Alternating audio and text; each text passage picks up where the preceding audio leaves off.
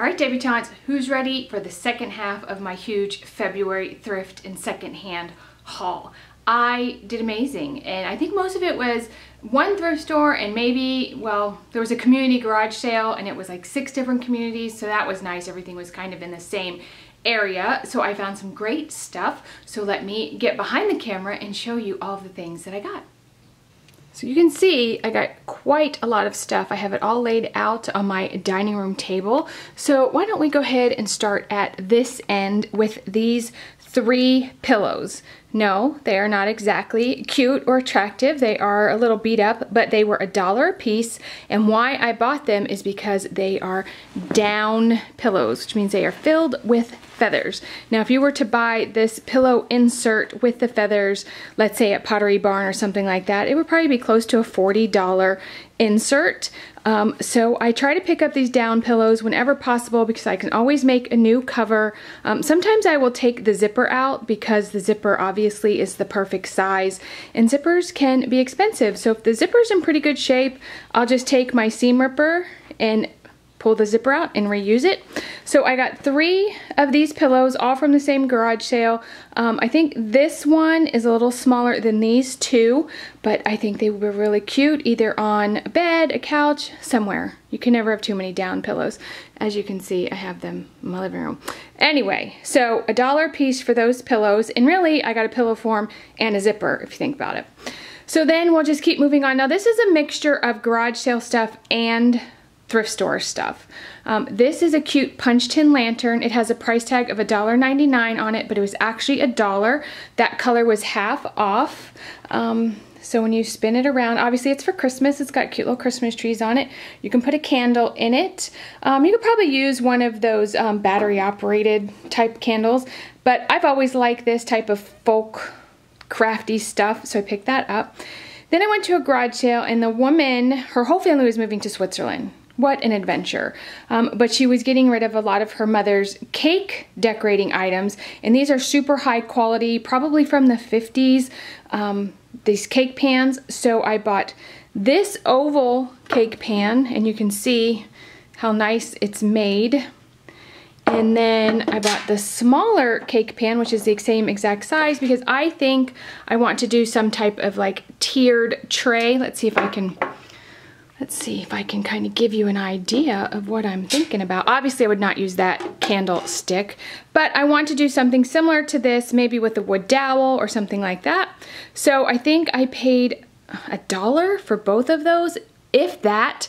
Um, she gave me a really good deal because she liked me. I don't know why. I think because I told her that I would love her mother's stuff and it wouldn't be like resold. I was buying it for my personal use. So let me just go ahead and put this back over here. So those cake pans. Then I bought these little tart dishes. Now there's stacks of these little tart dishes. No, I'm not going to make tarts. I'm not that talented. Um, but I used like this size and this size at Maureen's wedding for candles. I mean, they looked really pretty with all the rustic touches, but you could use these for like salt and pepper on your dining room table. Each person could get their own salt, their own pepper that they could pinch and put out. You could use these for cute little candy dishes. You could put these next to your sink to hold your rings when you take your rings off. Really, there are so many things that you can do with these little dishes um, these little tart pans that I just had to pick them up. I think I paid 50 cents for all of these. Um, these you could put fiberfill in, cover it with fabric and make cute little pin cushions. I mean, you could make Easter baskets with these, tie a little piece of ribbon, put some grass in there, and, um, you know, some cute little robin's eggs.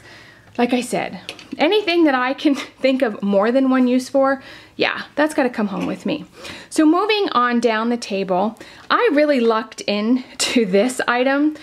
Um, we were in the car on our way to Disney and Maureen was looking at my new um, iPhone 7S and she said, you need one of those things on the back with the ring so you can keep a hold of it.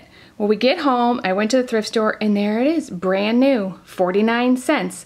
Um, the back of my phone is gold, it is silver, but it's not that big of a deal. It acts as a kickstand, but you can also remove it, wipe it down, and it re-sticks. So I don't know how much these retail for, but I'm sure it's a whole lot more than 49 cents. So I was very happy to have that.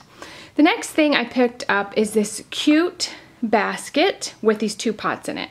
Now, I showed this to my mother and I said, Mom, look at this. Isn't this cute? And she said, yeah, it's cute. Well, she didn't seem interested in it, so I picked it up to buy it. And she goes, what are you doing with that? I said, I'm buying it. She goes, for me? I said, no, for me. You didn't make a decision fast enough. I think she's still trying to get that from me, but I'm not giving it to her. It's mine. So from the same cake pan woman, I bought this cute chocolate Easter egg mold. This is very vintage. It is very cute. I'm probably gonna set it up you know, like this to display it on my shelf when I decorate for Easter. It's nice and heavy. Um, I just really, really liked it. Actually, this came from a different garage sale, not this garage sale. It came from this garage sale. Now, if you look at that, you think, that's like a garbage can. It's not. It's actually an old pudding mold from England. You know, when they say, oh, we'll have pudding. Well, they used to make it in here and it would boil and it's kind of like a Bundt pan inside. I take the lid off, but I kind of shoved it on, so chances of me getting it off, not good. But she actually gave this to me. I guess the top was a little warped, and she said, oh, you can just have it. And this was the yard sale where I got this milk glass from. I got those two pieces, the tall vases, this little one, the egg thing, and that for $2. I know, let that sink in, milk glass all of that. Even if I just paid $2 for the three of those, I got a deal, right? So inside is this cute little bunny. I didn't need this bunny, but it's so cute. Look at her little face. So I figured this might be cute with my Easter decor. He's just so cute, got his little pink nose. So I think he was 25 cents. Put him back in there. Moving back this way, I found these two candlesticks. They are either terracotta, there's some type of concrete terracotta, whatever. It was $3 for both of those. I'm not gonna leave them that color. I don't know what I'm gonna do with them, but they're so nice and heavy. You can use them outside, you can use them inside. I had to have them. Then these little mercury glass with the wood, I paid $3 for those, and actually those candles came on top of there. Um, they have a $7 price tag a piece from like Home Goods or Marshalls. So $3 for the pair I thought was a good deal. Not 100% sure what I'm going to do with those, but I like the way they look and I like the rustic with the elegant touch, so those came home with me. Now we'll just keep moving this way. I love this little red vintage recipe box. When Tony and I first moved here to West Palm, I had canisters that matched these. I had the whole set. They were so cute. Um, so this was 25 cents. I figured I could put my cleaning cards in here or I could put it up on my kitchen shelf for 25 cents. Come on, had to have it. So this fabulous platter, which came from the garage sale that this came from, is a Williams and Sonoma platter, no chips, no nicks, perfect condition. She told it, sold it to me for $1. It's pretty big. I mean, it's not, it's probably a little bit smaller than a turkey platter. So for that price, and it's white, goes with all my white dishes, had to have it. I picked up this Jack Skellington hair bow. I think that was 15 cents. I got these cute little, I guess they're like shrimp forks. I have kind of a project idea for those. They were 50 cents a piece. At a thrift store, I picked up these Pottery Barn turkey candlesticks. See if it will focus. It says $1.99, but they were half off. So I got them for a dollar a piece. They're really heavy, they're really, really nice. Let me put it down, not break my Williams and Sonoma platter. So I was very happy to have those. I don't know what is up with my camera today. I even put my reading glasses on so we wouldn't be out of focus. At a yard sale, I picked up these brand new acrylic Lilly Pulitzer wine glasses. You can see right there, it says Lilly. It was a dollar for the pair. I do not know what those retail for, but I know Lilly is expensive, especially down here in South Florida. Everyone is Lilly Pulitzer crazy. Not a huge fan of Lilly Pulitzer, but those are pretty cute, especially out by my pool or anything girly like that. So for a dollar, I pick those up. One of my most favorite things I found is this painting in the back. It was $3.99 at a thrift store, but it was 15% off. It was a little beat up, had some marks on it, but I just took a magic eraser, some thieves cleaner, and it's beautiful and I kind of like the distressed rustic nature of it and that it's not framed. I'm gonna put this in my bedroom and I love it. I cannot wait to hang it up.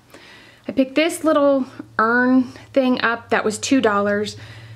I figured I could put it outside or I could put it with my fall decor, something for $2. I really liked it. Then I picked up these cool little red ducks. Now, the back of this, so you see right here, there was a, you know those wire things that curl and hold photos? That came up back here. Of course, I didn't like that. It was $2 for the whole thing. Let me turn them back around. And since you won't see that when I display it, I figured that didn't really matter. Aren't they cute little red ducks for two bucks? So moving on, I bought this bird. You know, I have a thing for birds. I don't like the color of it, but I figured with some of my signature cream spray paint, I could make that look brand new. And I think he was a dollar, if that. Um, so I can't wait to paint him. In the back, I got this galvanized drink tub. It was $3. Now what's nice about this galvanized tub is the outside has a finish on it. It's not, it's real smooth, so it's gonna keep that from rusting because a lot of these tend to rust when you keep water in them. This one is made just for beverages. So for $3, it's fabulous. I picked up a tripod for $2. If any of you film videos, you know how much tripods are. So whenever I find one in pretty good shape, I think this one is brand new. I don't think they ever took it out of the box. Um, $2, I picked that up. Um, I figure I can sell it, I can keep it. It's always nice to have an extra. Um, Tony wants to build me something with my other tripod, so he said he may use it for parts. I don't know, it was $2. Then of course I bought books. Now, usually I buy the older books for display, but I found this Betty Crocker cookbook. And it's a reproduction of the picture cookbook, but when I first got married, the Betty Crocker cookbook saved me. That is where I learned how to boil eggs, how to make a cake, all of the basic cooking that you need to know when you're 18 years old. Um, that's where I learned it. And I don't know why I got rid of my Betty Crocker cookbook, but I bought the this one and it has all kinds of vintage pictures and it is so cute. I found this green book. It's a Charles Stanley like devotional book. It's got like a faux leather cover and it came with two CDs. I think I paid 75 cents for that. Then that is another, the one next to it, the Beauty Within is also a devotional. But aren't they all pretty together? And then, what was that? I got my reading glasses on so I can't see far away. Coffee Break with God, which is another devotional, but I really like the cover. I thought it was really pretty. Then this, the other one is a field guide to the birds. It's really cool. So, whoops. The outside is really neat, kind of vintagey, love the color. But then on the back, I noticed it has a measuring tape. So I guess if you see a bird or whatever, you can measure it. I don't know, but isn't that cool on the back of a book? But inside this book are all kinds of illustrations. And I love to frame old things like this. So I really like that. And then right next to it is this old, I want to say this is probably from the 60s, love poems and love letters. I love the vintage cover of this. I thought if I were to decorate for Valentine's Day, this would look cute on my shelf. I just love the vintage feel, so I picked that up. Now, these things on the end are actually like shelving brackets, and I did get those at the thrift store. Let's see if all the books won't come crashing down if I move this out of the way. Sorry about the angle, guys. So this is what it looks like. And you see it's like a shelf bracket. Um, I guess it's from TJ Maxx normally. I thought this was half off. They were $2.99 a piece. I probably would not have purchased them if I was paying attention. Um, I didn't really want to pay $3 a piece. I thought they were $1.50 a piece, but I bought them anyway. And I am actually going to use them exactly how you see them here as bookends. They will not stay this color. Of course, I will paint them more of a creamy color, probably do a little antiquing to make them look a little older. But I really like the way they look with the books. You see how much stuff I got, I can hardly breathe. I bought this cute artichoke. From a distance, I thought it was a pineapple, but when I got up close, I saw that was an artichoke, but I still like it. I think it will look really cute on a shelf as just decor. Then here's just some utilitarian things. I bought three of these baskets. I think they were a dollar. Pretty sure this was um, half off. So I picked those up. I probably wasn't a great deal, but they're in pretty good shape and I happen to need those at the moment. So, okay. Sorry about that, guys. My camera shut off, said my card was full, so I had to delete some things to get back to filming. Um, this is a little car organizer, like a console type of item. Um, she gave it to me for free. She just wanted to get rid of it, and I will keep jumper cables, um, I carry a blanket, I carry an air pump, um, tools just in case anything happens in the back of my Yukon. So this will come in handy to keep everything nice and organized. I also got this bag for free, which is not a big deal, but this is a really nice heavyweight bag, you know, to keep in your car for your groceries or library, anything like that. It's not super fancy, but it was free and it will definitely come in handy. So I thought that was very nice of her. Uh, moving on, this little thing is from Tupperware and I believe it is to hold your sauce packets like your hollandaise sauce, your gravy mix, anything like that. Um, I think this was a dollar and it's kind of cute. It's got little ridged edgings. I thought this would look super nice in my pantry. And last but not least, I picked this item up at a thrift store. It is a Baggallini brand travel bag. It is brand spanking new. Um, it has this pocket. It has a pocket on the top. It's got these nice handles. You open it up. You can see the tissue is still in here. It has a place for makeup brushes, a hook to hang it on the door. This, one of these comes up here. Let me see. Oh yeah, it's got Velcro. This comes up and has more space for bottles or whatnot. Um, like I said, it was brand new. I went online to try and find the actual retail price of these. Things like this in the Baggallini line were about $60. I paid $2 for this bag. So again, we'll just do a little quick overview of everything that I got. I don't know why it's so yellow all of a sudden. But you can see I got quite the haul. And actually this has all been sitting in my house for like a week piled up. And my husband's like, you gonna do that video soon so we can put all this stuff away? So now that I've done it, I can put it all away. Let me know if you'd like to see a video on how I'm going to distress the two shelving brackets into bookends and I will try to include that. Um, so I hope you like everything I got. Okay, debutantes, I hope you enjoyed this super mega two-part haul. Um, I am going to be super busy with a new venture and I don't know how much thrifting that I will be able to do. So it's a good thing I got it all out of my system, don't you think? Anyway, thumbs this video up if you liked it. Please comment down below what your favorite item was that I got. And if you want to see a tutorial on any of the things that I talked about, Please subscribe to my channel if you have not. I hope to have some more video content coming soon. I want to thank you all for watching and I will see you in my next video. Bye everyone.